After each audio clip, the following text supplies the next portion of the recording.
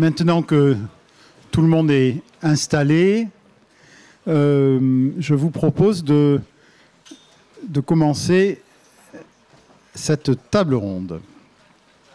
Alors, le, le titre général de ces trois jours, c'est les rencontres du progrès. D'ailleurs, tout à l'heure, en discutant avec un certain nombre d'entre vous, euh, j'ai eu euh, des gens qui m'ont dit oui, moi, c'est ça qui m'a donné envie de venir parce que le progrès m'en parle beaucoup, à tort et en travers, à tort et en travers, et, on ne sait pas trop ce que ça couvre, ce que ça contient, etc. Et en fait, je ne sais pas si vous vous souvenez, mais il n'y a pas si longtemps, on aimait à dire on n'arrête pas le progrès. Et quand on disait on n'arrête pas le progrès, on le disait avec un point d'exclamation presque joyeux. C'était une formule enthousiaste, adressée au futur, qui désormais inquiète. Comme si le progrès de l'intelligence artificielle au bébé euh, génétiquement modifié s'était émancipé de nos désirs, échappé à notre maîtrise et ne signifiait plus rien. Est-il à réinventer ce progrès? Comment? À quelle fin l'employer? Peut-on se passer du progrès? Peut-être n'est-il qu'un slogan, on en parlera aussi euh, dans cette table ronde, servant à départager le progressisme du populisme. Quel humanisme pour le progrès? Voilà quelques questions qui serviront de toile de fond à ces trois jours mais aussi tout particulièrement à la table ronde inaugurale d'aujourd'hui. On a de la chance, pour aborder ces questions, d'accueillir trois invités que je voudrais vous présenter rapidement, de votre gauche à votre droite, bien que vous les connaissiez tous déjà. Anne Lauvergeon, bonjour. Bonjour. Rappelons que vous êtes normalienne, agrégée en sciences physiques et ingénieure du corps des mines. Vous avez été, entre autres fonctions, c'est entre autres pour ça que vous avez déjà fréquenté ce lieu, conseillère Sherpa du président Mitterrand de 1990 à 1995. Et chacun sait que vous avez été présidente de la COGEMA et pendant dix ans, présidente à la tête d'Areva. Dans votre bibliographie, moi je retiendrai la troisième révolution énergétique chez Plomb, euh, qui est sortie en 2008 et sur lequel je vous poserai une question tout à l'heure. Euh, Louis Schweitzer, bonjour, rebonjour. Vous êtes, rappelons que vous êtes énarque, inspecteur des finances. Chacun vous associe à deux choses. À la fois à votre travail aux côtés de Laurent Fabius de 1981 à 1986 à l'industrie puis à Matignon et surtout à vos près de 20 ans euh, chez Renault où vous êtes entré en 1986 au contrôle de gestion il me semble, c'est ça? Au contrôle de gestion et euh, dont vous avez été le PDG de 1992 à 2005. Vous avez publié Mes années Renault entre Billancourt et le marché mondial chez Gallimard en 2007. Et enfin, Étienne Klein, bonjour. Euh, vous êtes, on le sait, à la fois physicien et philosophe, directeur de recherche au CEA, professeur à l'École centrale de Paris et producteur de la conversation scientifique sur France Culture. Vous avez écrit de nombreux ouvrages, dont Sauvons le progrès, qui va nous intéresser euh, cet après-midi, aux éditions de l'Aube, et un autre qui sortira le 25, septembre chez Sud, euh, avec un titre assez long, je vais essayer de le lire sans faire de bêtises, ce qui est sans être tout à fait, non, ce qui est sans être tout à fait, virgule, c'est sur le vide. Ça va? Bon. Très bien, on va commencer par vous, Étienne Klein. Euh, on a déjà eu l'occasion de, discuter de ces sujets-là, mais pour reprendre le titre de votre livre, est-ce qu'il faut le sauver, le progrès? Bien, bonjour à toutes et à tous. Je voulais d'abord dire toute ma joie d'être ici dans ce lieu que je ne pensais pas fréquenter un jour. Le titre du livre euh, Sauvons le progrès n'est pas de moi. Je l'ai découvert quand j'ai vu le livre en librairie. C'est une trouvaille de l'éditeur. C'est une bonne trouvaille Voilà.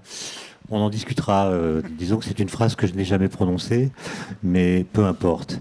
Euh, si j'ai 10 minutes, c'est ça hein? Euh, Je commencerai par dire que vous avez dit en introduction, on, parle beaucoup de progrès, on le met à toutes les sauces. Et ce qui m'a amené à m'intéresser à ce mot et à son histoire, c'est justement le contraire, à savoir que avec un collègue de l'Académie des technologies qui s'appelle Gérald Bronner, qui est sociologue. On a utilisé un logiciel qui permet de compter l'occurrence des mots choisis dans les discours publics. Et ce qu'on a constaté et qu'on a pu mesurer précisément, c'est quelque chose que tout le monde a ressenti dans ses oreilles, à savoir que le mot progrès, qui était un mot fondateur de la modernité, qu'on a écrit pendant trois siècles avec un P majuscule, a brutalement disparu des discours publics. Brutalement. Par exemple, euh, si vous voulez faire un test simple, vous verrez que tous les candidats à l'élection présidentielle en 2007 utilisent le mot progrès dans leur discours, à des degrés variables, mais tous le revendiquent à leur façon. En 2012, plus aucun. Et donc la question qu'il faut se poser, c'est comment se fait-il qu'un mot qui a été historiquement si chargé, si porteur, si déterminant, a pu être liquidé en quelques années? Alors on, m'a dit, bah, c'est simple, il a été remplacé par le mot innovation. Le mot innovation est un mot qui n'était pas utilisé dans les années 80 quand je faisais mes études d'ingénieur. Les professeurs nous parlaient d'invention, de découverte, d'application, de brevet, mais pas d'innovation. Et en effet, avec le même logiciel, on a vu le mot apparaître dans les années 90. Le croisement entre la courbe du, progrès qui décroît et de l'innovation qui monte se fait en 2003. Et depuis, bah, l'innovation a remplacé le mot progrès partout. Euh, et c'est un mot qui n'est d'ailleurs pas défini dans les textes officiels. Et donc on pourrait se dire, et ça a été mon premier réflexe, c'est pas grave, on a fait une permutation d'un mot par un autre, mais le message est le même. Et en fait, quand on fait une analyse un peu plus fine du mot progrès et du mot innovation, on s'aperçoit que la rhétorique dans laquelle on a inséré l'innovation est une rhétorique qui contredit l'idée de progrès. Alors ça demanderait des heures, je vais le faire en cinq minutes. L'idée de progrès, c'est une idée qui s'appuie sur l'idée d'un temps constructeur. Le temps est complice de notre liberté et il est complice de notre volonté. Et donc croire au progrès, c'est configurer le futur à l'avance d'une façon qui est crédible et désirable. Crédible parce qu'appuyée sur les connaissances, et désirable parce qu'il faut, pour le faire advenir, accepter de réaliser ou de, se sacrifier pour faire advenir cette société que nous avons désirée à l'avance, mais qui ne va pas apparaître toute seule, qui réclame des efforts, parce que le progrès n'est pas automatique. Donc pour le dire en une phrase, croire au progrès, c'est accepter de sacrifier du présent personnel au nom d'un futur collectif. Ce qui suppose que ce futur collectif soit dessiné, ce qui suppose qu'on dispose d'une philosophie de l'histoire. Et d'ailleurs, c'est peut-être parce que nous n'avons plus de philosophie de l'histoire que nous avons dû renoncer à l'usage du mot progrès. Maintenant, l'innovation. Ben, l'innovation, euh, c'est évidemment très très bien. Ce que je critique, moi, c'est la rhétorique dans laquelle on l'a insérée.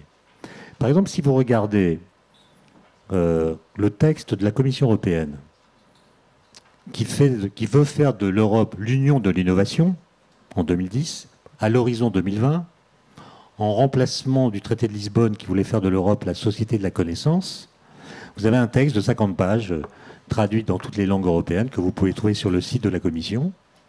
Et vous verrez que la première page commence de cette façon. L'Europe est soumise à toutes sortes de défis, compétitivité des entreprises, vieillissement de, la population, raréfaction des ressources, changement climatique, etc., etc. Et elle a compris, et elle a compris qu'elle ne pourra relever ces défis que grâce à l'innovation.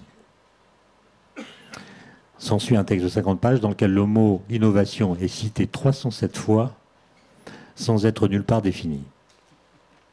Autrement dit, cette définition ou cette rhétorique de l'innovation s'appuie sur l'idée d'un temps qui n'est pas constructeur, mais corrupteur.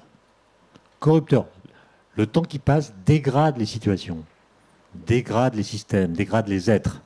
Et pour empêcher que cette dégradation triomphe, il faut innover. Autrement dit, l'innovation, c'est ce qu'il faut faire pour empêcher que le monde se défasse. Et ça, ça m'a intéressé parce que si on fait l'histoire complète du mot innovation, on, trouve des choses passionnantes. Par exemple, ce mot apparaît en fait dans le vocabulaire juridique au XIVe siècle, en bas latin, innovatio. C'est un terme qui désignerait ce qu'on appellerait aujourd'hui un avenant. Une innovation dans un contrat, c'est ce qu'il faut ajouter au contrat pour que le contrat ne change pas et demeure valide parce que telle ou telle donnée a été modifiée. Autrement dit, c'est un principe de conservation. C'est ce qu'il faut changer pour que ça ne change pas. Je vous épargne les étapes suivantes. On retrouve le mot innovation chez Machiavel, dans Le Prince. Le prince, quand il a le pouvoir, ne doit pas innover, sauf si son pouvoir est menacé. Autrement dit, là encore, l'innovation, c'est ce qu'il faut faire pour empêcher que le pouvoir soit perdu. Et celui qui va introduire le mot innovation en l'associant à la technique, c'est un philosophe anglais qui s'appelle Francis Bacon, XVIIe siècle, donc avant le siècle des Lumières. Et c'est d'ailleurs à lui que, que, Kant va euh, dédier la critique de la raison pure. En fait, Bacon écrit un livre qui s'appelle Essais et conseils civils et moraux en 1632, dans lequel il y a un chapitre qui s'appelle L'innovation, qui a été traduit en français moderne récemment chez Vrin, et que je donne à lire, ou du moins des extraits, à mes étudiants de sans leur dire qui a écrit ce texte, ni quand il a été écrit. Je leur demande, à votre avis, d'où ça vient Alors les uns me disent euh, Jacques Attali, les autres me disent Alain Minck, euh, en gros, c'est toujours euh, un texte dont ils considèrent qu'il a été écrit la semaine dernière. Et pourquoi est-ce qu'ils disent ça? C'est tout simplement parce que ce texte de 1625 parle de l'innovation comme nous en parlons en 2019. Que dit Bacon? Que le temps qui passe est corrupteur. Les forces du bien étaient maximales au départ, les forces du mal sont continues. Qu'est-ce qui va se passer si on laisse les choses advenir? Le mal l'emporte. Comment empêcher que le mal l'emporte? Par l'innovation. Il ne faut pas innover trop vite, sinon l'innovation est rejetée comme une étrangère. Il ne faut pas innover trop lentement, sinon les dégâts du temps qui passe sont irréversibles. Conclusion, il faut innover au rythme du temps pour maintenir le monde. C'est exactement notre discours, c'est-à-dire que nous associons l'innovation à l'état critique du présent et non pas à une image du futur que nous aurions configurée à l'avance et qui nous, apparaîtrait à la fois crédible et désirable. Pour une raison simple, c'est que quand on a une vision du futur qui est crédible, on écoute euh, les scientifiques, les climatologues qui parlent du climat, de la biodiversité, de la pollution, etc. Bah, quand c'est crédible, c'est pas très désirable. Et quand c'est désirable, c'est pas crédible. Autrement dit, le ressort de l'idée de progrès est tombé en panne. Et c'est pour ça qu'on l'a abandonné. Mais à mon avis, c'est ma conclusion provisoire, c'est plutôt que de liquider le progrès et de le remplacer par l'innovation, dont, je le répète, la rhétorique est quand même mortifère. La rhétorique de l'innovation, c'est si vous n'innovez pas, vous disparaissez. C'est quand même pas très engageant. Ça n'invite pas au sacrifice c'est, si on croit un peu à l'idée de progrès, de la retravailler. La retravailler, ça veut dire la prendre au sérieux au point de la soumettre à elle-même. Si vous croyez à l'idée de progrès, vous devez faire progresser l'idée de progrès. La retravailler peut tenir compte des leçons de l'histoire et aussi pour dénoncer les naïvetés des philosophes des Lumières qu'il avait élaborés. Quand vous lisez Condorcet, qui imagine un embrayage automatique entre le problème scientifique, le progrès technique, le progrès matériel, le progrès moral, le progrès politique, bah, vous lui dites euh, non, ça n'a pas marché comme ça.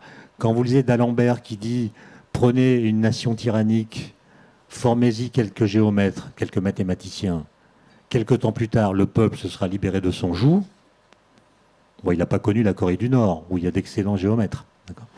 Donc il y a des naïvetés comme ça chez les philosophes des Lumières qu'on peut dénoncer en, faisant une expérience de pensée, qui à mon avis est un bon outil pour repenser l'idée de progrès. Vous prenez des philosophes des Lumières, Condorcet, d'Alembert, Diderot, quelques autres, vous les mettez dans une capsule temporelle. et vous les faites atterrir en 2019. Et vous regardez leur réaction lors d'un voyage organisé que vous avez préparé pour eux. Vous les amenez dans une classe de terminale suivre un cours de maths. Ils vont rien comprendre. Mais ils vont être admiratifs du fait qu'aujourd'hui on enseigne en classe de terminale des mathématiques qu'eux-mêmes ne connaissaient pas. Vous les amenez au CERN. Vous leur expliquez le boson de Higgs. Vous dire c'est incroyable, les physiciens font des découvertes qui ont des implications philosophiques. Ça, on l'avait même pas prévu. Euh, vous les emmenez, je sais pas. Alors après, vous faites des expériences plus négatives. Par exemple, vous les mettez sur un canapé devant un téléviseur un samedi soir. Euh, en leur disant, bah, vous allez rester sur le canapé là jusqu'à pub comprise. Et là, ils vont pas comprendre ce qu'on a fait de la télévision, alors qu'eux auraient imaginé, connaissant l'instrument, qu'on allait diffuser en direct les, collèges du, les cours du Collège de France, par exemple. Donc voilà. Et puis surtout, je pense qu'ils ne comprendraient pas qu'on voit dans la rue à Paris des gens dormir sous la pluie. Et donc par expérience de pensée comme ça, on pourrait constater ce qui, dans l'idée du progrès, a été une réussite, allant même parfois au-delà de ce qu'ils avaient imaginé, et ce qu'ils n'auraient pas compris qu'on n'ait pas fait compte tenu des espoirs qu'ils avaient enclenchés dans l'idée de progrès, dont je vous rappelle que l'anagramme est le degré d'espoir. Merci, merci Étienne. Euh, pour ceux que ça intéresse, je renvoie à un article épatant euh, qu'Étienne Klein a écrit pour euh, le site The Conversation qui s'appelle Faire progresser l'idée de progrès. Anne Lauvergeon, je, je, vous passe la parole maintenant parce que on a Étienne Klein a, parlé du temps. Et vous, vous avez une vision, euh, on a parlé d'innovation et de progrès, mais vous, vous avez une, vision sur la transformation. Comment, euh, sur une longue, très longue période, euh, vous avez un peu étudié, regardé de près les grands moments de la transformation humaine et voir comment ça a progressé. je voudrais que vous nous parliez de ça. Merci beaucoup. Bonjour à tous et à toutes. Euh, bah, je dois vous dire d'abord que je suis très émue de me retrouver ici. Je ne suis pas venue depuis 1995. François Mitterrand était bien survivant. Et je n'ai pas, je suis arrivée un peu tard pour faire le tour à Gilbert. J'espère qu'on aura la chance d'avoir une deuxième chance après. Euh, mais pour moi, c'est. Bon, j'oserais le terme, c'est un pèlerinage. Donc je ne pouvais pas. Euh, d'abord, votre sujet est formidable, euh, l'initiative est géniale et le lieu, bah voilà. Donc euh, je ne pouvais que dire oui et je suis vraiment très très flattée d'avoir été invitée. Alors effectivement, progrès, innovation. je trouve que la réflexion d'Étienne est extrêmement intéressante. elle fait beaucoup réfléchir. Alors moi, je vis dans un monde où effectivement on ne parle que d'innovation. Oui, j'ai oublié de dire que vous êtes présidente d'ALP qui fait du conseil en stratégie et vous investissez dans des entreprises innovantes en plus. Dans des entreprises innovantes, on ne dirait pas des, des, entreprises en progrès. Euh, non, Alors qu'on espère bien qu'elles sont en progrès. Euh, mais elles sont aujourd'hui qualifiées d'innovantes. Alors, c'est vrai que si on reprend, alors je ne sais pas si je vais dire innovation ou progrès, euh, je vais dire progrès parce que je pense que c'est le plus important. Euh, si on regarde le, temps long, euh, le progrès, la capacité effectivement d'apporter des choses nouvelles, a complètement façonné nos sociétés. Alors, je vais peut-être vous faire une présentation qui est très liée à l'énergie, mais c'est peut-être le sujet sur lequel je, je plus réfléchis. Mais quand vous regardez effectivement la révolution zéro de l'énergie, c'est la domestication du feu, et ça a changé complètement euh, la vie euh, des personnes de, l'époque, c'est-à-dire pouvoir cuire ses aliments, donc beaucoup moins d'intoxication, pouvoir s'éclairer, euh, faire, faire, fuir les bêtes féroces, se chauffer, aller peindre dans les grottes très loin. C'est donc la révolution zéro de l'énergie qui a changé les premières sociétés humaines. La première révolution énergétique, eh bien, ça a été très clairement basé, fondé sur une technologie, la vapeur, une invention française, Denis Papin, créateur génial, mort dans la misère à Blois, et le charbon. la vapeur, j'ai tendance à dire, elle existait avant, le charbon aussi, mais à la fin du XVIIIe siècle, ça se développe partout, on l'utilise partout, machine à vapeur, et ça va effectivement introduire la première, ce qu'on appelait la première révolution industrielle, qui va complètement changé nos sociétés. Euh, bien évidemment l'urbanisation, mais également l'exode rural, le capitalisme moderne, les grandes sociétés, euh, et puis, euh, disons-le aussi, les excès du capitalisme moderne. C'est là où on voit que la notion de progrès, va-t-on vers le mieux? Bah, Quand vous voyez le Charles Dickens, vous n'êtes pas très très sûr que la situation est bien meilleure qu'avant. Eh bien, c'est la création aussi des syndicats en réaction, c'est le marxisme, c'est toutes sortes de choses qui ont changé nos sociétés. Alors la deuxième révolution énergétique, qui va créer la deuxième révolution industrielle, elle n'est pas arrivée faute de charbon ou faute de vapeur. Mais on trouve encore mieux. On trouve là aussi des nouvelles technologies et des nouvelles matières premières. Matière première, le pétrole, la technologie qui va en face, le moteur à explosion. Et ça, c'est la globalisation. Et puis l'électricité. Alors l'électricité, Edison, et ça se passe à peu près au moment, c'est-à-dire au tournant du 19e et du 20e siècle. Et alors là, effectivement, l'électricité, bah, ça c'est une révolution en profondeur qui va changer nos modes de vie individuels, bien sûr. Et on voit bien que l'accès à l'électricité euh, est un élément absolument moteur, pas seulement du confort, mais même de la, vie et de la survie des gens. Mais c'est également euh, la naissance, dans les années, on va y revenir, 1980, euh, l'énorme explosion des datas. Donc, on voit bien que ces technologies, ces matières premières, ces changements énergétiques ont complètement façonné notre vision, euh, la vision de nos sociétés, la façon de vivre. Alors, est-ce que ce sont des progrès? Pendant tous ces siècles-là, oui, on a considéré que c'est des progrès. Euh, progrès étant, nous allons vers du mieux. Est-ce que c'était toujours vrai? J'en suis pas totalement persuadé, mais c'était le sentiment général. Aujourd'hui, et je vais y revenir, je crois que nous avons une grosse panne collective de croyance dans le fait que le progrès nous apporte du mieux. Et c'est pour ça qu'on ne parle plus d'innovation, euh, faute aussi de vision, de vision du temps. Euh, jusque dans les années 80, je pense que nous avons vécu, parce que les innovations ou les progrès majeurs sont finalement pas si nombreux que ça. Les grands progrès de rupture sont pas très nombreux nous avons vécu sur beaucoup de petits progrès très importants qui ont nourri nos sociétés, qui ont nourri la consommation, qui vont de la machine à laver, euh, l'électroménager, les innovations du quotidien. Et c'est ça qui a effectivement permis le développement et la croissance. Les voyages en avion, les voitures, l'énergie pas chère, et sans grande préoccupation environnementale, on peut le dire. Et puis, et puis euh, on a eu, je dois dire, une accélération de l'innovation, du progrès, en particulier aux États-Unis, avec une nouvelle mythologie. Les innovations ne viennent plus, les progrès ne viennent plus des États, ne viennent plus des grands programmes, ils viennent du garage. C'est le mythe de Platon euh, revisité, c'est plus la caverne, c'est le garage. Et euh, on a une accélération d'un certain nombre de phénomènes à partir de 1990-2000 absolument stupéfiants, qui sont d'une part des gains de productivité par l'innovation, mais aussi sans innovation, des gains de productivité sur tous les secteurs, une délocalisation qui commence timidement, qui est moins importante en termes de perte d'emploi que, euh, que les gains de productivité, mais qui est effectivement la mise en compétition entre les pays, à la fois sur les emplois, mais aussi sur attirer les investissements. Et ça, c'est grâce au coût du transport, c'est grâce à cette euh, possibilité qu'on a effectivement de faire transformer les, sujets. Et puis, on a l'émergence des GAFA.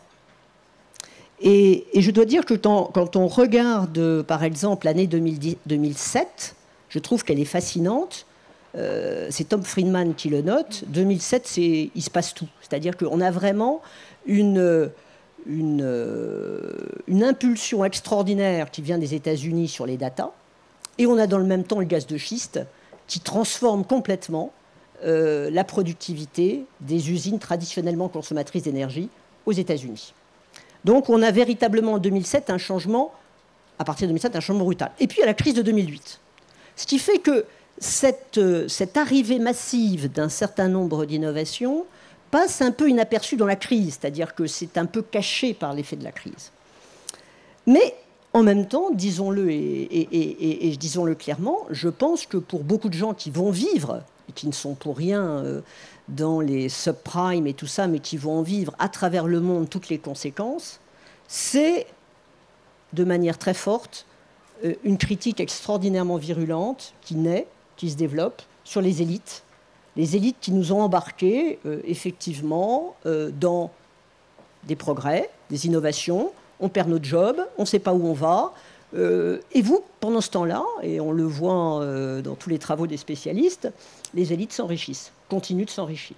Donc nous nous appauvrissons, les classes moyennes des pays développés se fragilisent, et pendant ce temps-là, euh, les élites se portent bien. Donc je crois que ce phénomène-là, lié un deuxième phénomène qui apparaît, qui est que le changement climatique n'est plus, euh, comment dirais-je, une hypothèse. Euh, on en parlait tout à l'heure avec un des intervenants qui va intervenir plus tard. moi, je me souviens d'un débat à l'Université d'été du MEDEF en 2006 avec Claude Bébéard, président d'AXA, euh, j'explique que le changement climatique est un des sujets que je trouve le plus préoccupant, et où il explique que ça n'existe pas. On voit, et peut-être ça c'est une vision personnelle, on est peut-être passé un peu de l'autre côté du cheval entre-temps. C'est-à-dire qu'on a l'impression, à entendre certains, que bah, peut peut-être s'asseoir sur le trottoir et attendre la mort. On va tous mourir, le changement climatique. Euh, moi, je discutais avec mon fils, 15 euh, ans, euh, qui me disait, tu sais, maman, si on n'intervient pas tout de suite, dans 3 ans, on est tous foutus. Ah, bah, dis, écoute, c'est peut-être une bonne nouvelle pour toi, tu n'auras pas à passer le bac. Alors, je dois dire que cet aspect des choses ne l'a pas désintéressé, parce qu'effectivement, euh, le lycée n'est pas son premier intérêt. Euh, mais je suis stupéfaite de voir ses copains, etc., ses copines, euh, sidérés par le changement climatique, c'est-à-dire être comme devant, dans le livre de la jungle, le singe devant le serpent. On est devant le sujet, voilà. On nous a légué un monde, euh, qui va à la catastrophe, euh, et où effectivement il n'y a plus que peut-être quelques innovations qui vont nous sauver, mais et encore, on n'est vraiment pas sûr d'y arriver. Et ce désespoir collectif, euh, à, la, fois cette absence de confiance dans tout ce qui a été historiquement les gens qui vous amenaient, les États, les corporations, et de l'autre côté, le nous sommes au bord du précipice et euh, comme dans les personnages de bande dessinée, on a déjà dépassé le bord et de toute façon on est foutu, on, est en train de se rendre compte et on va tous mourir. Et, notre amie Greta, c'est vrai qu'elle n'exprime pas un bonheur de vivre euh, communicatif. Euh, c'est pas ça qui va nous donner le peps de se dire euh, bah oui, on croit encore en des projets collectifs, on croit en notre avenir, on a envie de faire des choses. Et pour moi, le progrès, c'est ça c'est-à-dire de dire nous avons un avenir collectif et nous avons des possibilités collectives de nous en sortir. Euh, quand même, je voudrais vous poser la question sur la troisième révolution énergétique. C'est-à-dire que euh, une fois qu'on a dit ce, que vous venez de dire là, euh, vous nous avez mis en appétit. C'est-à-dire vous, vous avez parlé du charbon et, de la vapeur, de, du pétrole, des moteurs et de l'électricité. et alors? Et après, ça va être quoi? Ça va être tout le nucléaire, c'est ça? Pas du tout. Ah, d'ailleurs, vous, citiez un, livre que j'ai fait en 2008 à une période où encore le changement climatique, les gens disaient ouais ouais. Euh. Non, moi je suis persuadé depuis très longtemps que euh, nous sommes dans une troisième révolution énergétique. Alors, au passage, euh, ceux qui ont vécu la première ou la deuxième, ça dure 10 ans, ça dure 20 ans, on n'a pas conscience d'être dedans. Enfin, on, est dans un espèce de, de, système qui se meut, qui se bouge, qui, où il se passe des tas de choses. On ne comprend pas très bien. Euh, et où effectivement certains vous disent ce qu'il faut faire, des guides, etc. Non, moi ce que je pense, c'est qu'on va avoir effectivement, à cause du changement climatique, la nécessité de dépenser beaucoup moins d'énergie. Et ça, on va y être aidé par, euh, et on y est aidé déjà, par le fait qu'on pilote beaucoup plus de choses. les LED, par exemple, c'est une révolution de l'éclairage absolument fantastique en termes d'économie d'énergie. Euh, donc on peut faire des économies fantastiques, la domotique va changer, la, construction, l'urbanisme, il y a plein de choses à faire dans ce domaine. Et puis effectivement, on va devoir utiliser des énergies qui ne font pas de CO2. Non carbonées. Aucune n'a été inventée pour ça. Mais il se trouve que, bon, eh ben, on les connaît, hein. c'est les renouvelables, c'est le nucléaire. et je pense que l'ostracisme, alors c'est là où les choses m'inquiètent beaucoup. Je, je, prends un sondage récent en France, 69% des Français pensent que le nucléaire fait du CO2. Et 89% chez les jeunes. Oui. Je dirais que c'est une grande logique chez les Français, d'une certaine façon. c'est un manque d'information colossal, puisque je vous rappelle, le nucléaire ne fait pas de CO2, il en fait encore moins d'ailleurs que l'éolien. Donc, ça ne fait pas de CO2. Mais pourquoi croit-il que ça en fait? Bah, Parce qu'il voit les écolos qui sont contre. Les écolos euh, veulent lutter contre le changement climatique, qui sont contre le nucléaire, c'est parce que le nucléaire fait du CO2. Le, raisonnement, il est imparable. Il est imparable. Donc, 69% euh, des gens qui pensent qu'effectivement ça fait du CO2, bah voilà, donc on arrive à des raisonnements qui sont émotionnels. Alors ça, c'est peut-être la dernière dimension difficile du progrès aujourd'hui. C'est que très longtemps, et nos amis d'Alembert et autres étaient sur la raison, nous sommes de plus en plus sur l'immédiateté et sur l'émotion. Alors les émotions, j'ai toujours pensé qu'il fallait non seulement les écouter, les entendre, les comprendre, les peurs, les angoisses, etc. elles sont très importantes. Mais on ne peut pas non plus être uniquement sur des grands sujets de société euh, dans le courant de l'émotion. Merci. Alors, Louis Schweitzer, euh, quelle est votre, votre approche? Euh, Tout à l'heure, on parlait d'ailleurs, on se posait la question est-ce que le titre de cette table ronde, Le progrès a-t-il une fin en soi, était, était vraiment pertinent on se, posait la question. On se dit est-ce qu'il n'aurait pas fallu mettre est-il Bon. en, tout cas, quelle est votre réponse? Comme je ne comprends pas la question, je n'essayerai pas d'y répondre. Bon. J'essayais quand même. Mais oui, vous avez fait un effort louable. Mais euh, bon, ben voilà, je, renonce à essayer de réponse. Et je voudrais euh, repartir de ce qu'a dit Étienne Klein. Il a souligné le fait que le mot progrès est un mot qui n'est plus à la mode. Étant observé quand même qu'en politique intérieure française, il a fait un retour en 2017 assez marqué euh, qui ne s'est pour l'instant pas démenti.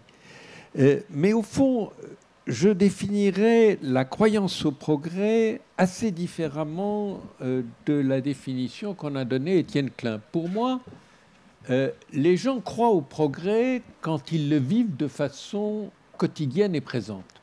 Au fond, la croyance au progrès qui existait, disons, dans, dans l'après-guerre, était fondée sur le fait que les conditions de vie des gens progressaient, qu'ils vivaient plus longtemps, qu'ils allaient mieux, que leur vie était plus facile. Et donc, on croit au progrès parce qu'on le vit. Et ce qu'on constate depuis un certain nombre d'années, c'est que les gens ne font plus l'expérience du progrès. Euh, cela dit, observons que cette absence de croyance au progrès est d'abord un phénomène qu'on retrouve dans les pays développés occidentaux. Si vous interrogez un Chinois, si vous interrogez euh, un Africain, il ne dira pas il n'y a pas de progrès. Mais au fond, nous, nous vivons, nous occidentaux, une sorte de déclin relatif. Euh, nous ne dominons plus le monde comme nous le dominions il y a 20 ou 30 ans ou 40 ans. Et puis, je crois que euh, ce vécu de la disparition du progrès comme croyance commune est aussi fondé sur ce qu'a dit Anne, c'est-à-dire l'idée on est dans un monde aux ressources finies avec une population croissante, et donc on retrouve le pessimisme de Malthus, euh, que les gens vivent de façon intense. Alors est-ce qu'il y a des solutions? Est-ce qu'on trouvera une révolution énergétique? Ce n'est pas mon objet. Et puis, il y a un, autre facteur qui, à mes yeux, explique euh, la perte de confiance dans le progrès, c'est que ce progrès n'est plus partagé. Là aussi, euh, Anne l'a évoqué, euh, le progrès n'est pas partagé entre tous. Et si on regarde l'évolution du, du, revenu, des conditions de vie, etc., on voit que depuis 20 ou 30 ans, euh, eh bien, les conditions de vie de la classe moyenne, c'était même en Occident, ne progressent plus. Donc, au fond, aujourd'hui, pour beaucoup de gens, le progrès, parler du progrès, c'est mentir. C'est aller à l'encontre de ce qu'ils vivent, de leur expérience, et donc euh, ce n'est pas vrai. Et je crois que c'est cela qui explique au fond, l'évolution du sentiment et de la popularité de ce mot. Et je voudrais raconter une anecdote. Il se trouve qu'il y a euh, un peu plus de 10 ans, 12 ans, on m'a demandé de présider le comité d'éthique de la recherche agronomique. Et j'avais voulu, euh, donc on est en 2007, avant la crise, euh, j'avais voulu que le comité, qui était composé de philosophes, de scientifiques, de gens tout à fait remarquables, adopte des principes communs, parce que pour parler d'éthique, il faut quand même avoir quelques principes. Et parmi ces principes, je voulais introduire la, croyance dans la possibilité du progrès. Alors, on a accepté six principes sans problème. Et ce point-là a suscité un débat violent. Et malgré le fait que j'étais président, j'avais un peu d'autorité, euh, le comité n'a pas accepté de dire qu'il croyait à la possibilité du progrès. Et donc on a fait une phrase, parce que je tenais quand même à ce que le mot progrès soit figure dans ce progrès, puisqu'on parlait de recherche agronomique, donc de quelque chose qui était tendu vers l'avenir, fondé sur la science, fondé sur l'innovation. Et on a trouvé une phrase que je vais vous lire parce qu'elle fait un peu la synthèse. Cette phrase, c'est Le progrès implique une société ouverte aux innovations techniques et sociales. Donc on retrouve le lien progrès-innovation. Mais pour moi, le mot innovation n'est pas nécessairement positif, alors que le mot progrès est nécessairement positif. Donc le progrès implique une société ouverte aux innovations techniques et sociales, en sachant qu'il faut analyser et prévoir l'impact de ces innovations sur les modes de vie, leur contribution au développement humain et s'assurer d'un partage équitable des bénéfices qu'elles peuvent apporter. Vous voyez, c'est une phrase de commission. C'est une phrase de commission. Mais ce qui est intéressant, c'est pas seulement la phrase, c'est le fait que, au fond, la croyance au progrès, qui allait de soi, et je pense dans un tel comité, 30 ans plus tôt, euh, il n'y aurait pas eu l'once d'un doute, était quelque chose rempli de conditions, de il faut que, s'assurer que, il faut prévoir l'avenir, ce qui à mes yeux est une tâche à peu près impossible. On peut prévoir des tendances, mais on ne peut pas toujours prévoir les accidents ni la réaction aux tendances. Donc au fond, oui, le mot euh, progrès, euh, au fond, est-ce qu'il est fini? Pour revenir à la question, c'est pas est-il une fin? Est-ce que c'est fini? Euh, Moi, je crois que non. je crois que non. Et d'ailleurs, à tous ceux qui doutent du progrès, je leur dis est-ce que vous auriez envie de vivre il y a 200 ans avec une mortalité infantile de 40%, avec des famines, avec euh, une espérance de vie en bonne santé qui s'arrête vers 55 ans, euh, l'illettrisme qui est massivement dominant. Euh, personne ne veut revenir en arrière. Donc les gens croient au progrès accompli. Ils n'arrivent pas à imaginer le progrès futur. Justement parce qu'ils sont dominés par cette peur du monde fini et d'une population qui explose. Moi, je suis convaincu qu'on trouvera des solutions. Alors, le... là-dessus, moi, je voulais vous le relancer tous les trois, justement, merci de me fournir cette euh, transition, sur qui, justement, pour qui peut prendre en charge Est-ce que c'est le politique? Est-ce que c'est les, scientifiques Est-ce qui pour prendre en charge euh, une nouvelle euh, vision, une nouvelle remise en, marche du progrès? Est-ce que Étienne Klein, par exemple, est-ce que c'est euh, parce qu'il faut bien qu'il y ait une volonté quelque part pour définir ce futur à la fois souhaitable, désirable et crédible. Il faut que quelqu'un le dise. Qui va le dire? bah, Pas moi déjà. ah ben non, là, vous me décevez beaucoup. Là. Non, non, mais je, moi, je suis d'accord avec ce qui a été dit, euh, notamment la dernière phrase de Louis Schweitzer, à savoir que moi, je crois au progrès. je pense que les choses progressent. Mais pour que l'idée de progrès soit psychiquement active, il faut qu'elle soit accompagnée d'un véritable discours qui lui donne un sens. comme j'essaie de le rappeler tout à l'heure, l'idée de progrès, elle suppose, pour être euh, revendiquée, que le futur soit configuré. Configuré, c'est-à-dire on représente le futur. Quand j'étais adolescent, dans les années 70, euh, euh, oui 70, tous les jours, on me parlait de l'an 2000. L'an 2000 était représenté, représenté au deux sens du terme. C'est-à-dire, il était dessiné, il était mis dans notre présent, de sorte que chacun d'entre nous pouvait tracer une, une trajectoire individuelle entre le présent où nous étions et ce futur qui nous attendait. Évidemment, beaucoup de ces prédictions sont révélées fausses. Mais ce n'est pas la question. Non. La question, c'est qu'on nous présente un futur qui existe. aujourd'hui, les adolescents, j'en ai aussi à la maison, ils n'entendent jamais parler d'une configuration de 2050 ou de 2100. Le futur n'est pas représenté, ou alors quand il est, c'est sous euh, l'égide de l'apocalypse. Oui, enfin, Je pense que psychiquement, c'est très difficile. Le fait que, euh, que, le futur soit laissé en jachère intellectuelle et, en, en, sevrage prophétique, c'est difficile à vivre. Justement, je vous pose la question à cause de ça. Excusez-moi, je vous interromps 5 secondes parce que 2050, l'Institut Momentum, euh, mmh. euh, qui est euh, un institut qui rassemble un certain nombre de ce qu'on appelle des collapsologues aujourd'hui, mmh. lui tient un discours sur 2050. Oui, mais qui, est un discours de l'effondrement. Oui, enfin. En fait, on est tous d'accord que des choses vont s'effondrer. Il y a des choses qui vont s'effondrer, des pays peuvent s'effondrer très rapidement, le Venezuela s'effondre. Donc il y a toujours eu des effondrements, il y, en aura encore.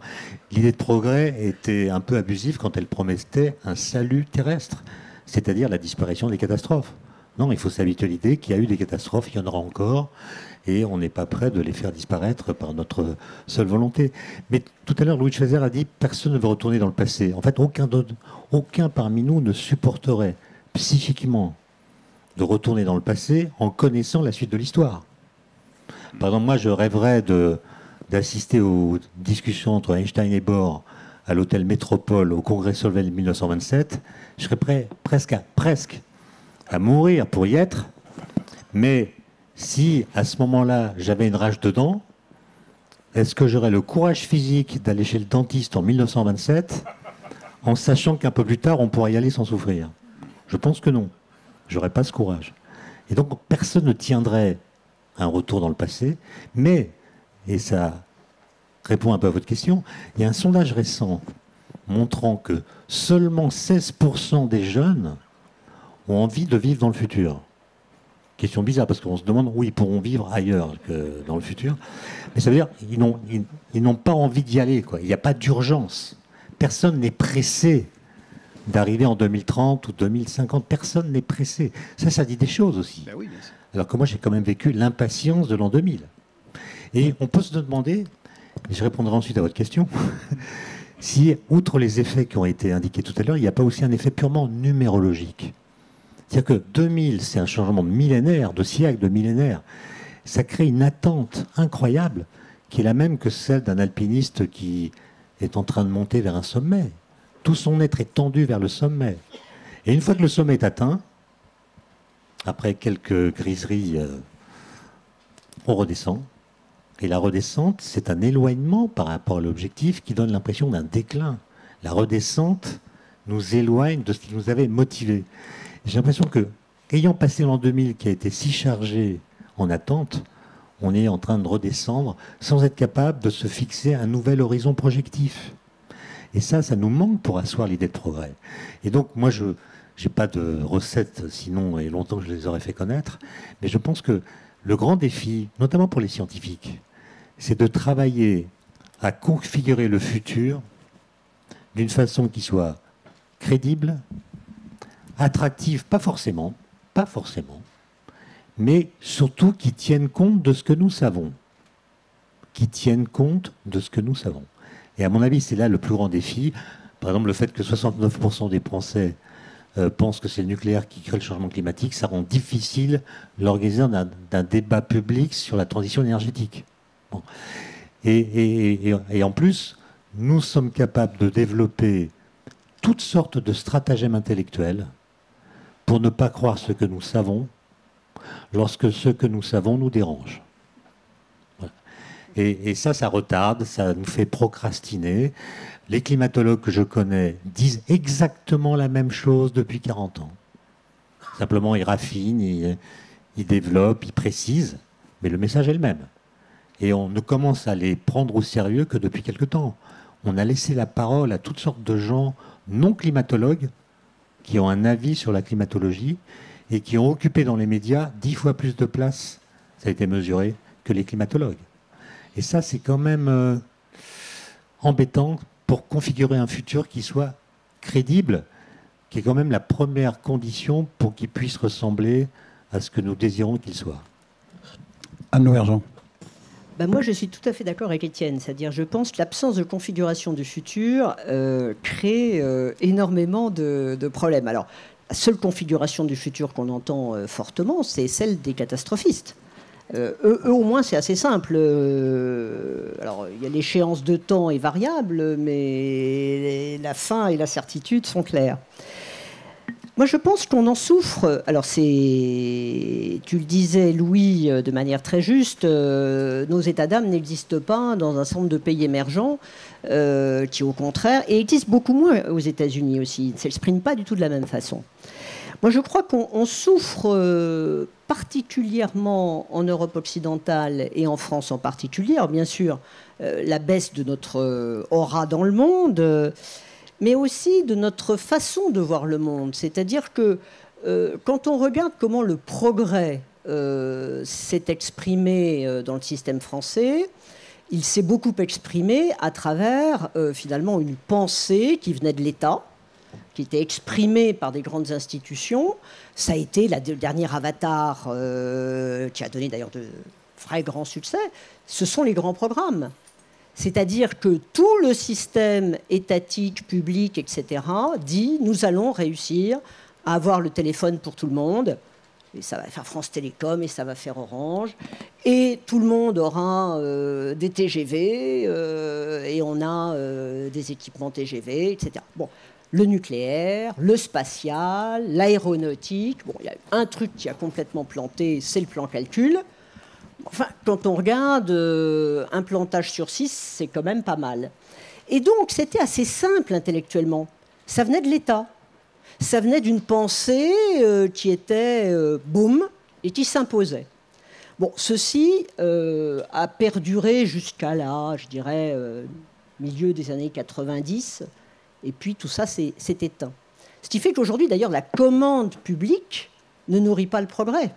Au contraire, on a installé une commande publique, on l'a d'ailleurs rendue extraordinairement, euh, comment dirais-je, euh, craintive de toute innovation.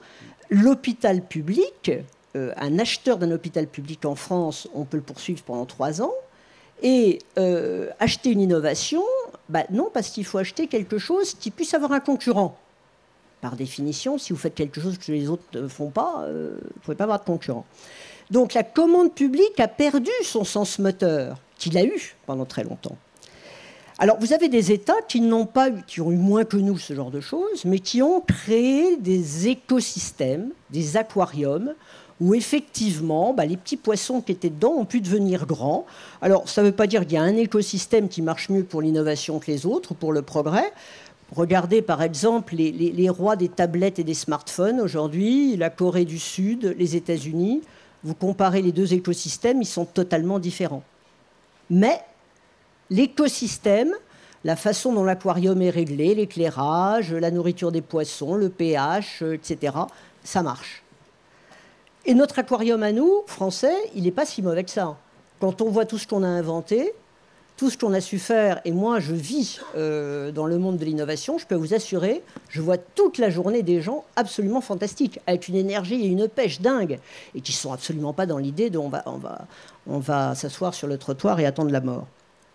Et puis, bah, le progrès, c'est aussi c'est pas seulement les grands programmes, c'est pas seulement donc les États, c'est pas seulement euh, l'écosystème, c'est aussi un État, comment dirais-je, c'est un enfant de bohème. Vous avez des innovations, des progrès qui sortent comme ça, qui viennent de nulle part, qui sont euh, et qui sont géniaux. Voilà. Bon. Alors une fois qu'on a dit ça, euh, comment comment relancer le progrès?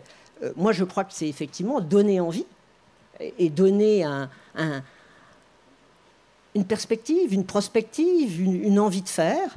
Et puis, c'est euh, bah, l'État doit retrouver les collectivités locales, tout le monde. La commande publique française, je rappelle, c'est 200 milliards par an. Il y a de quoi faire. Il y a beaucoup, beaucoup à faire dans ce domaine. Il y a l'écosystème à améliorer. Bon, je pense qu'il s'est quand même vachement amélioré. La BPI, euh, tout ce qui est création d'entreprises innovantes, je crois qu'on est un des meilleurs du monde. Tout ce qu'a fait le CGI avec mon voisin euh, Louis Schweitzer, absolument remarquable.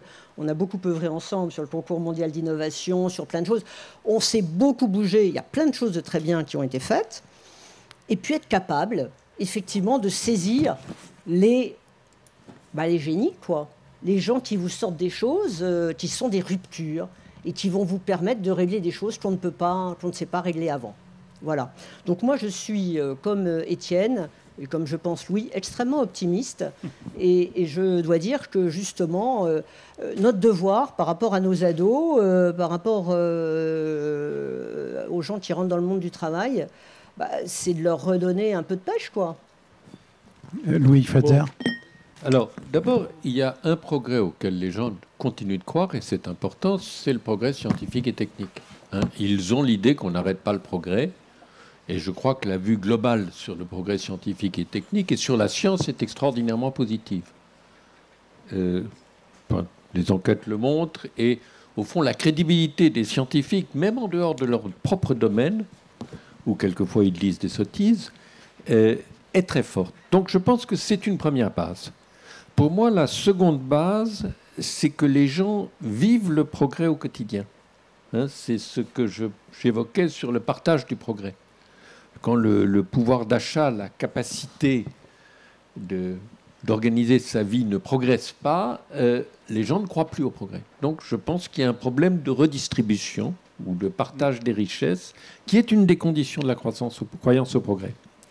Et puis le troisième point, c'est euh, donner aux, gens le sentiment qu'on retrouve le contrôle du monde, le contrôle des choses. Parce que euh, c'est vrai que le catastrophisme, c'est l'idée que c'est un système fatal face auquel nous sommes impuissants, il n'y a pas d'action, et quand vous écoutez le discours politique aujourd'hui, le plus souvent, c'est de dire il n'y a pas le choix. Hein, c'était d'ailleurs le slogan de Madame Thatcher, c'était There is no alternative. Hein, il n'y a pas d'autre voie possible. Donc, retrouver un volontarisme politique au niveau local ou au niveau national ou au niveau européen, mais qui fasse qu'on ait l'impression qu'il y a une capacité d'action collective. Alors, je ne suis pas sûr qu'on puisse dessiner le futur de 2050. Franchement, en rose, en bleu, en noir ou en blanc, euh, je ne m'y risquerai pas. Mais donner, redonner aux gens le sentiment qu'il y a une capacité de contrôler l'évolution du monde. Sentiment qu'on avait au 19e et au, au 20e siècle, alors même qu'il y a eu des accidents dans le 20e siècle qui montraient une perte de contrôle absolue. Mais les gens avaient l'idée qu'il y avait un contrôle collectif des choses. Et je pense que c'est de rendre de façon concrète, de montrer qu'il y a un contrôle des choses. Alors effectivement, euh, ça implique un rôle du pouvoir public. Je ne vais pas revenir sur ce qu'Anne a dit et que je partage, mais vous n'êtes pas entraîné dans un système fatal. Vous pouvez prendre le contrôle des choses. Ça peut être très concret. Hein. Je voyais en arrivant euh, ici quelque chose que je trouve assez laid qui sont des champs euh, de panneaux solaires. Mais au fond, ça donne aux, gens qui les posent l'idée qu'ils contribuent au contrôle des choses, qu'ils ne sont pas à constater leur impuissance face à une dérive. Alors, quand vous dites contrôle, quand même, j'aimerais qu'on revienne 5 minutes là-dessus. La version, ça c'est la version face. La version pile, c'est ce qu'on appelle l'anthropocène c'est-à-dire le contrôle des choses, le fait de vouloir que l'homme soit au contrôle de tout, ça a créé tellement d'externalités négatives qu'on est dans un... Alors... Justement, pardon, euh, l'anthropocène, c'est l'homme change la nature, mais il n'est pas capable de piloter son action. L'humanité, dans l'anthropocène, n'est pas capable de piloter son action dans une autre direction que celle qui conduit à la catastrophe. C'est ça le discours. Antoine Étienne Oui, si on n'arrive pas à prédire le futur aussi facilement qu'on pouvait le faire naïvement autrefois, c'est paradoxalement parce qu'on a compris quelque chose, à savoir que nous allons dépendre de choses qui dépendent de ce que nous allons faire. Et nous ne sommes pas capables de dire ce que nous allons faire collectivement, de le prédire. Et donc, nous ne pouvons pas prédire ce qui va se passer. Et vous disiez tout à l'heure euh, que j'étais optimiste. En fait, euh, non, j'ai jamais dit ça. Je ne suis pas non plus pessimiste. Je suis ni l'un ni l'autre. Depuis que j'ai trouvé cette définition de l'optimisme par Jean d'Ormesson, qui disait euh, un optimiste, c'est un gars qui fait ses mots croisés avec un stylo bille. Je, je, n'appartiens pas à cette catégorie. Et, par contre, il y a une chose pour laquelle je suis assez pessimiste, c'est le pessimiste, c'est l'avenir de l'humanisme. Je suis pas inquiet sur l'avenir de l'humanité, mais l'humanisme au sens de nous avons le sentiment commun de participer au même destin collectif. Je pense que ce sentiment-là est en perte de vitesse. Été un horizon, l'humanisme. Et aujourd'hui, j'ai l'impression qu'il est abandonné au motif que nous avons compris que nos conditions de vie sont tellement différentes et que les inégalités sont accentuées par euh, justement le progrès tel qu'il s'est déroulé jusqu'à maintenant, que l'idée que nous appartenons à la même histoire est une idée qui s'étiole et ça se voit par tous les le fait qu'on construise beaucoup plus de murs aujourd'hui qu'on construit de ponts, par exemple. Ça marque ça. Et euh, vous citiez la phrase On n'arrête pas le progrès tout à l'heure. C'est marrant parce que j'ai fait un test auprès de mes étudiants. Parce que cette phrase, pour moi, quand j'étais euh, étudiant, ça voulait dire c'est un salut enthousiaste adressé au futur. C'est un jugement moral. Mmh. On n'arrête pas le progrès, ça voulait dire il ne se ne serait pas bien de vouloir l'arrêter, puisqu'il est, une bonne, puisqu'il est une bonne chose. Mais mes étudiants, c'est pas du tout ça. On n'arrête pas le progrès, c'est un jugement pratique. Ça veut dire on ne sait pas où agir pour modifier le cours des choses, de sorte que on n'arrête pas le progrès, c'est un, un constat d'impossibilité d'agir sur le cours du monde, comme si, par exemple, la technologie avait une, dynamique qui s'était autonomisée par rapport aux, volontés humaines. D'autres réactions à ces... Euh, un petit point de correction. Euh, les inégalités s'accroissent fortement au sein des pays. Euh, au niveau mondial, les inégalités tendent plutôt à décroître. À décroître, oui. Et c'est vrai qu'on est toujours... Il faut éviter de vivre l'humanité en européen pur. Oui, de même, de même que l'État stratège ou l'État de commande publique ou l'État planificateur, il existe euh, en Chine de manière euh, ah, éclatante. Il existe dans des tas de pays euh, dans le monde. Hein, hmm. C'est pas. Non mais on voit que. je pense qu'effectivement l'idée de configurer l'avenir est compliquée mais nécessaire. Et il y a aussi le fait de connaître le passé. Moi, c'est quelque chose qui me frappe beaucoup, c'est-à-dire d'où on vient, et qui est aussi une façon de voir où on va. Euh, on parlait des, famines, des guerres. Je ne sais pas si vous avez lu Sapiens, mais euh, il y a une présentation euh, extrêmement, ou dans Homo Deus, je ne sais plus un des deux, extrêmement forte sur le fait qu'on n'a jamais eu aussi peu de morts violentes que ces 15 dernières années. Vous demandez à n'importe qui, il va vous dire le contraire que dans un, des périodes les plus violentes de notre histoire. Je, regardais une petite statistique. Entre 1682 et 1694, il y a eu 2,8 millions de Français qui sont morts de famine. 15% de la population sous Louis XIV en 20 ans. D'abord, personne ne s'en souvient. Ça ne s'apprend pas. C'est pas, pas un sujet. Mais les grandes famines, les grandes épidémies, quand on regarde par exemple les grandes épidémies euh, avec le, quantité de voyages, d'échanges que nous avons, nous devrions avoir une flambée absolument folle des épidémies. On s'aperçoit euh, qu'elles sont, alors à chaque fois, effectivement, la grippe de l'hiver, tout le monde en parle, etc. Rien à voir avec la grippe espagnole du tournant du, début du XXe siècle. Donc je pense que retrouver la notion de progrès, c'est aussi connaître l'histoire d'où l'on vient et de se rendre compte qu'effectivement, notre. J'ai vu un débat un jour par hasard à la télévision, France 3, euh, qui m'a beaucoup frappé. Euh, c'est des gens qui s'invectivaient assez, assez rudement. Euh, sur, sur un sujet environnemental de pollution Et euh, une des personnes euh, a fini par dire que l'espérance de vie euh, avait beaucoup diminué depuis 25 ans du fait de la pollution en France. Et cette affirmation surprenante, ce qui m'a le plus surpris, moi, c'est que personne n'a réagi. Le journaliste, les personnes en face, rien. Donc, formidable amélioration de l'espérance de vie, de la, le fait, on, est quand même né, comme disait Michel Serres, sur, le fait, euh, euh, tu engendreras dans la douleur. Euh, bon, tout, ça, on, a tout changé en une génération. On est quand même dans, un monde, ça va du dentiste à l'opération. on est dans un monde formidable par beaucoup de côtés. on est persuadé du contraire. Donc retrouver le sens de ce qu'était la société. Euh, moi j'ai connu des maisons, alors j'étais à la fin de la fin de ça. Euh, mais François Mitterrand en parlait, euh, aussi bien chez ses grands-parents à Touvent que dans la Nièvre. Il n'y avait pas d'électricité, il n'y avait pas d'eau courante.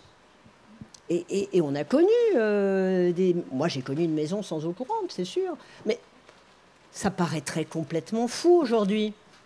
Donc le progrès, c'était ça aussi, c'est-à-dire de partager ça pour le plus grand nombre de gens possible.